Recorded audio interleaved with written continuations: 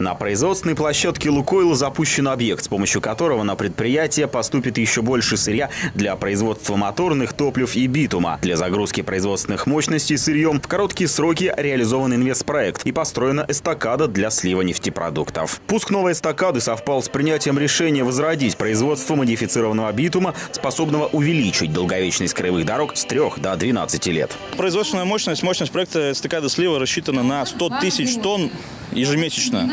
То есть получается более миллиона тысяч тонн в год.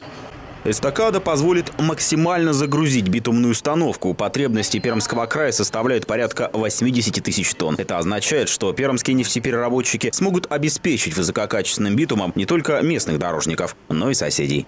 Сегодня же мы уже начнем принимать сырье, подавать его на коксовые установки. И с завтрашнего дня мы планируем начать пусковые процедуры по битумной э, установке. Это означает, что к 15 мая мы должны получить первые партии битума. О поставке современного битума пермским дорожникам еще в ноябре прошлого года договорились губернатор Максим Решетников и президент нефтяной компании Вагит Аликперов. Тогда же соответствующее соглашение заключили региональный Минтранс и дочернее предприятие «Лукойла». Битум нам крайне нужен, да, потому что мы запланировали большие объемы строительства, и в прошлом году из-за нехватки битума цены взлетели, и у дорожников, по большому счету, большая часть прибыли ушла.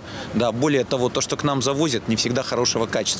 А без нормального битума хороший асфальт никогда не сделать. А нам нужен реально хороший асфальт, потому что мы удлиняем сроки меж, межремонтные. Поставлена такая задача на федеральном уровне. Битум, произведенный на Лукойл Пермнефтеоргсинтезе, планируется использовать в дорожно-строительных работах уже в самое ближайшее время. К примеру, на улицах архитектора Свиязева и космонавта Леонова, где работы уже начались. Всего же здесь отремонтируют 3,5 километров дорожного полотна. Отметим, в этом году в регионе сохранится набранный в прошлом году темп дорожного строительства и ремонта. Будет отремонтировано около 800 километров дорог. На эти цели из бюджета всех уровней будет направлено порядка 11,5 миллиардов рублей. Руслан Пепелев, Георгий Тимофеев, телекомпания «Ветта».